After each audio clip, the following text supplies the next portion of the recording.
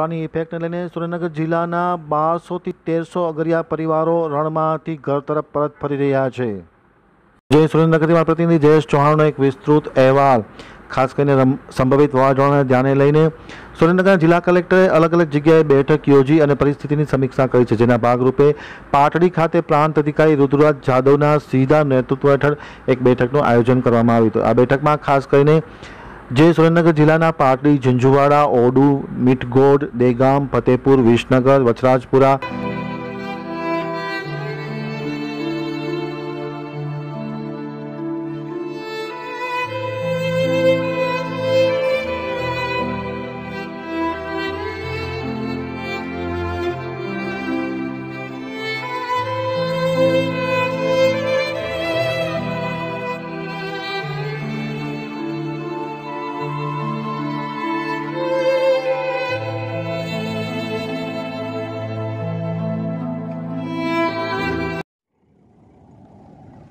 કરીને આ ઉપરોક્ત ગામોના સરપંચોને પણ સાવધ કરવામાં આવે છે અને બચાવ કાર્યમાં જોતરાઈ જવા માટેની સૂચનાઓ આપવામાં આવી છે. નાયબ મામલતદારને પણ રણ વિસ્તારમાં રવાના કરી દેવામાં આવ્યા છે ત્રણ દિવસમાં રણ છોડી પોતાના વતન પરત ફરી જવા માટેની સૂચના આપવામાં આવતા બારસોથી તેરસો જેટલા અગરિયા પરિવારના સભ્યો હવે પોતાના માદરે વતન પરત ફરી રહ્યા છે.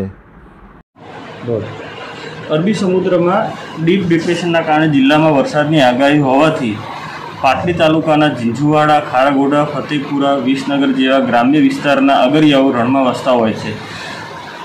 ઉડતી સિઝન હોવાના કારણે મોટાભાગના અગરિયાઓનું પોતાના વતન તરફ પાછા આવવાનો આ સમય હોય. પરંતુ હજી મીઠું ત્યાં હોવાથી અગરિયાઓને હિત, અગરિયા હિતરક્ષક મંચ સમિતિ તથા સોલ્ટ એસોસિએશનની મદદથી જાગૃત કરવાના પ્રયત્નો વહીવટીતંત્ર દ્વારા કરવામાં આવ્યા છે. તથા જો કોઈ અગરિયા રણમાં રહી જાય અને વરસાદ અથવા તો વાવાઝોડાની સ્થિતિમાં ફસાય, તો ઝીંઝુવાડા ખારાગોડા જેવા રણકાંઠાના ગામોમાં વાહનો અને વિલેજ ડિઝાસ્ટર મેનેજમેન્ટ પ્લાન અંતર્ગત તેમના રેસ્ક્યુ ઓપરેશન માટે પણ વ્યવસ્થા કરવાના પ્રયત્નો ચાલુ છે.